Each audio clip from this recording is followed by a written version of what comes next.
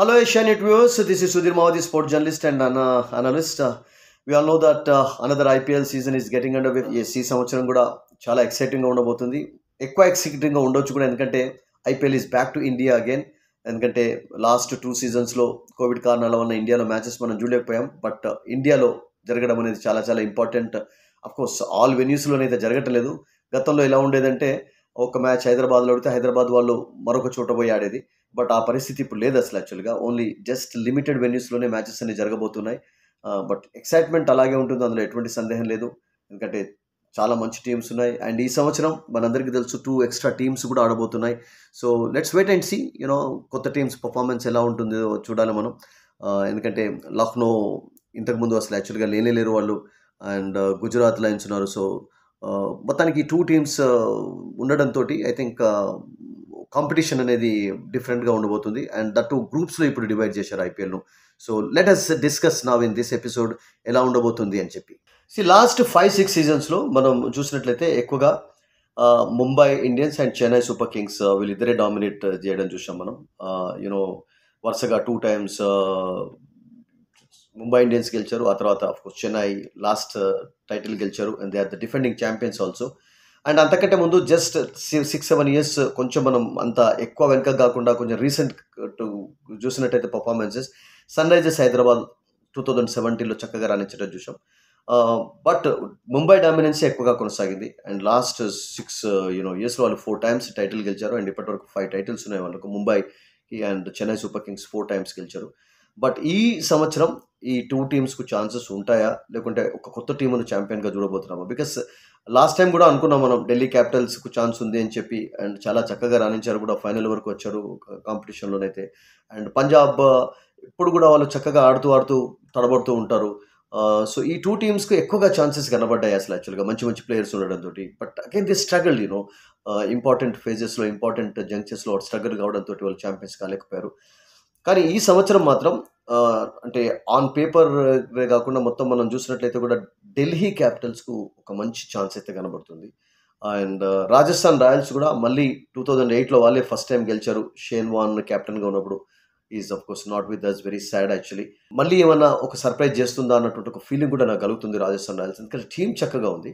And ఏవైతే transfers జరిగాయో ఆ ట్రాన్స్ఫర్స్లో వాళ్ళు మంచి ప్లేయర్స్ని తీసుకున్నారు ముఖ్యంగా. Sanju Samson already there for them actually. Jos Buttler ఉన్నాడు. అండ్ అశ్విన్ రావడం ఒక రకంగా చెప్పాలంటే వాళ్ళకు అండ్ చెహెల్ రావడం ఇది ఒక ప్లస్ పాయింట్ అయిపోయింది. ఎందుకంటే ఇంతకుముందు వాళ్ళు స్పిన్నర్స్ కొరకు చాలా స్ట్రగుల్ అయ్యారు అసలు యాక్చువల్గా.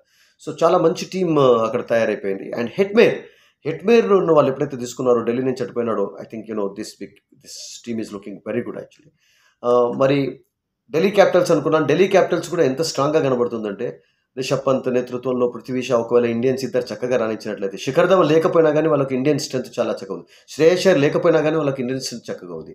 And David Warner I think that's going to be a very good move for them actually. And Nokia వీళ్ళిద్దరూ ఒకవేళ నిజంగానే చక్కగా రాణించినట్లయితే I think they can definitely you know put decent show ఈ సంవత్సరం కూడా. లాస్ట్ టూ త్రీ ఇయర్స్లో తేడానైతే కనబడింది చక్కగా ఆడుతూనే ఉన్నారు. కానీ ఈసారి టైటిల్ రేస్లో ఉండే ఛాన్స్ కూడా లేకపోలేదు.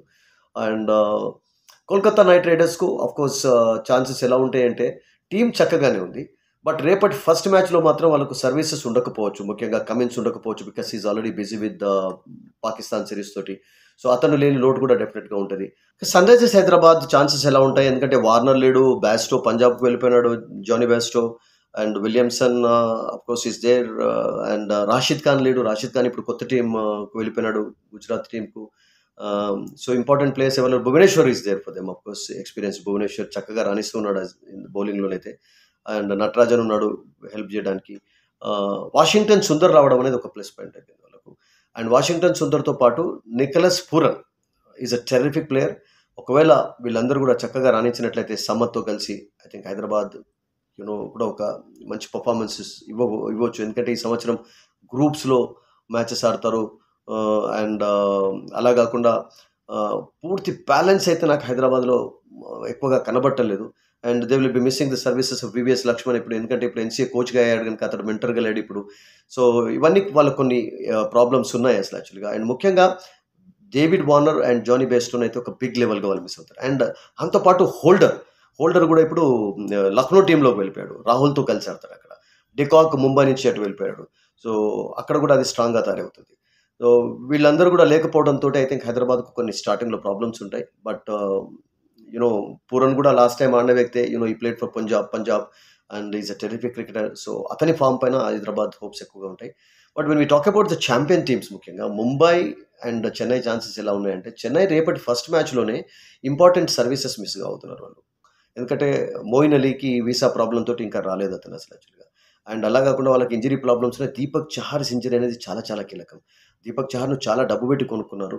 అండ్ కొత్త కెప్టెన్ రవీంద్ర జడేజా.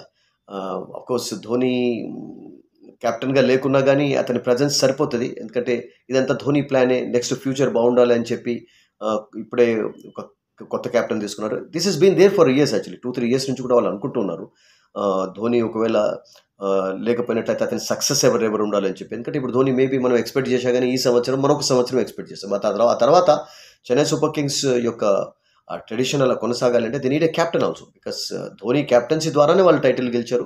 ధోని క్యాప్టెన్సీ ద్వారానే చిన్న చిన్న క్రికెటర్స్ ఇంటర్నేషనల్ లెవెల్లో కూడా ఆడడం మనం చూసాం.